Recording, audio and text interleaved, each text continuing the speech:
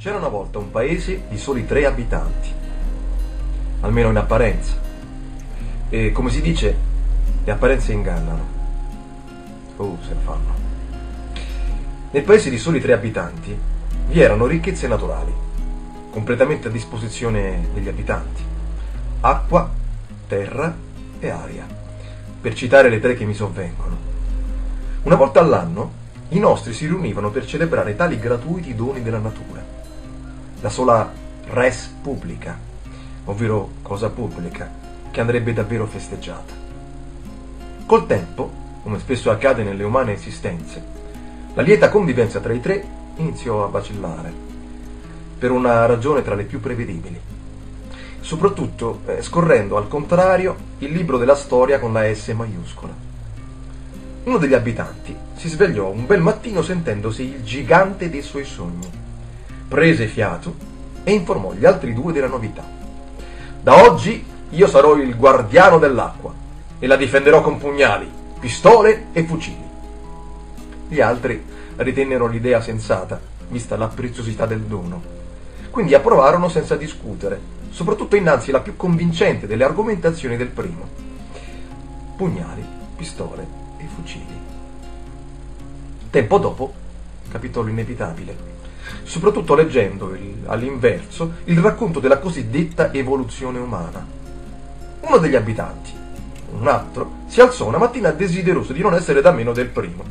Si fece coraggio e annunciò: Da oggi io sarò il guardiano della terra e ne sorveglierò i confini con frecce, lance e mitragliatrici.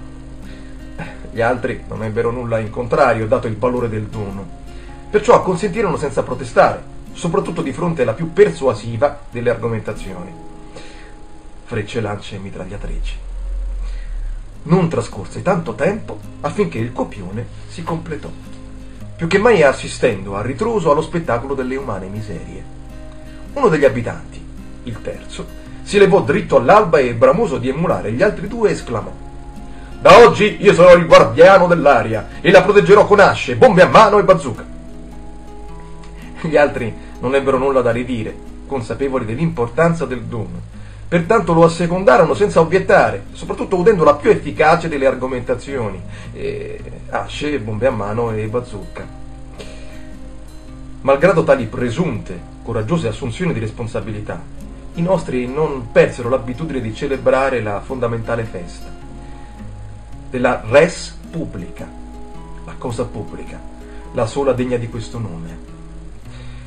Acqua, terra e aria. Non di meno, in una sorta di proprietà transitiva dell'idiozia, si convinsero che ciò che andava festeggiato non fosse la cosa pubblica, bensì le più convincenti, persuasive ed efficaci tra le argomentazioni. Pugnali, pistole, fucili e tutto il resto. C'era una volta un paese di soli tre abitanti che celebrarono la festa della cosa pubblica, ovvero delle suddette argomentazioni. Col tempo perpetrarono in siffatto modo tale tradizione, poiché i tre si resero conto che la cosa pubblica apparteneva a molte più persone. Come si dice, le apparenze ingannano. Oh, se lo fanno. E che fare i guardiani del mondo sarebbe stato l'unico modo per ammirare la festa dal palco più in alto.